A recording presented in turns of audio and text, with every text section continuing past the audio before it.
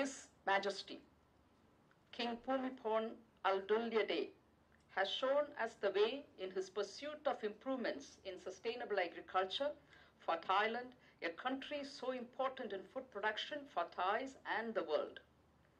Your Royal Highness has also carried forward that quest for of the global greenhouse gas emission. Last year, this, this seemed a, quite an impossible task. Practices and promoting a wide integration of cropping systems along with agroforestry, animal and aqua, aquaculture production, we need to look at an integrated system. An integrated system of crop diversification, In Thailand and around the region, we observe worrying trends including more variable and declining precipit- precipitation, rising average temperatures, and growing frequency of extreme weather events such as storms, droughts, and floods.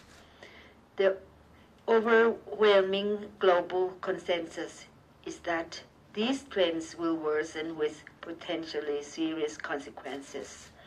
Rising temperatures increase the risks that crops will fail and that livestock will become less productive. Who is showing his contemporaries how to cope with these changing conditions and still prosper. The son of a successful sugar farmer